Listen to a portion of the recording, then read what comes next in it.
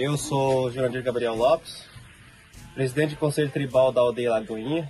Estou aqui, estou aqui juntamente com o nosso cacique Fábio Marcelino. E nós estamos hoje, na manhã dessa sexta-feira, é, com atendimento é, com a equipe da CESAI, é, fazendo o atendimento aqui na aldeia Lagoinha, onde eles estão fazendo coleta de teste rápido é, em prevenção ao Covid-19 e alguns atendimentos básicos da saúde também a quem necessita.